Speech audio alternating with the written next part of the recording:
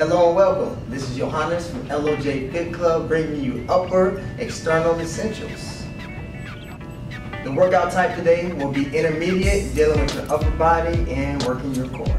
Equipment needed for today's exercises will be the physio ball and a set of dumbbells, anywhere between 10 to 20 pounds. The message for today is be ever persistent and ready for the change that is constant growth. Today's warm-up will consist of the side shuffles. You'll be doing them from 45 to 60 seconds. They will look as such. Make sure your legs are shoulder width apart. You want to act as though you're sitting down into a chair, hands up, have a nice straight back. And we're going to side shuffle left and back to the right. Left, come back to the right.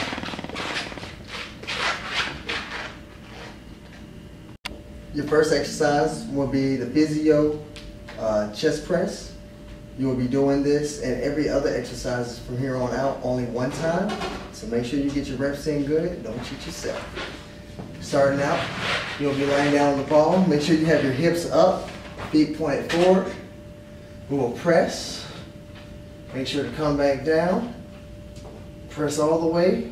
Come back down. And if you like to press and squeeze your chest. Allow it to relax, coming all the way down. You'll be doing 10 of those reps. Next will be the dumbbell physio ball pullovers. You'll be laying um, on your back just as though you were doing the chest press. You will have your arms extended over your head. Allow your arms to reach all the way down as far as possible. And you will pull all the way up, extending your arms, squeezing your triceps. Relax all the way back down. Breathing out, pulling up, squeezing your triceps. Again, coming down, pulling all the way up, squeezing your triceps. Your next exercise will be the chest fly and uh, shoulder press. You will take your uh, elbows and you will extend them out to a 90 degree angle. You will squeeze in your chest for the fly and you will press up for the press. Come back down, Squeeze the chest in for the fly. Press up for the press. Again, squeeze in for the fly. Press up on the press. Enjoy. And your next exercise will be the shoulder taps. We're gonna come here, as you see, in the push-up position. All right, try to have your hands under your chest. Simply tap your shoulder, squeezing your core to keep yourself balanced. Lift the next hand, tap your shoulder. Make sure you have that core tight. Keep tapping your shoulder. You'll be doing this for 10 reps on each side. Your next exercise will be the dumbbell curl press. You will start here with your legs spread out, shoulder width apart, squatting down, having soft knees. Enough where you can bounce. That's when you know it feels good. And we're gonna come here and curl. Press up, that's one. Curl, press up, that's two. Curl, press up, that's three. You'll be doing a total of 10 reps.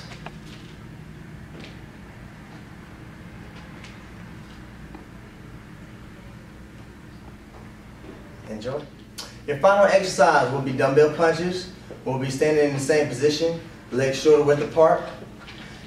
Have nice soft knees. Arms will be up in the ready position, arms in the fight position. And we're gonna punch out, punch out, punch out. You'll be punching for 45 seconds. Try to extend the arm and keep the arm up if possible. And make sure you keep your soft knees to help you with your balance. Enjoy.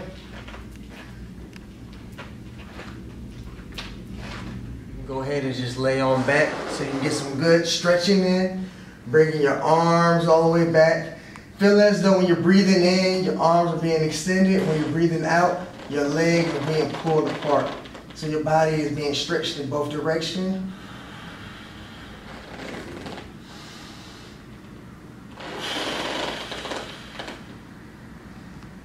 From here, you can come up.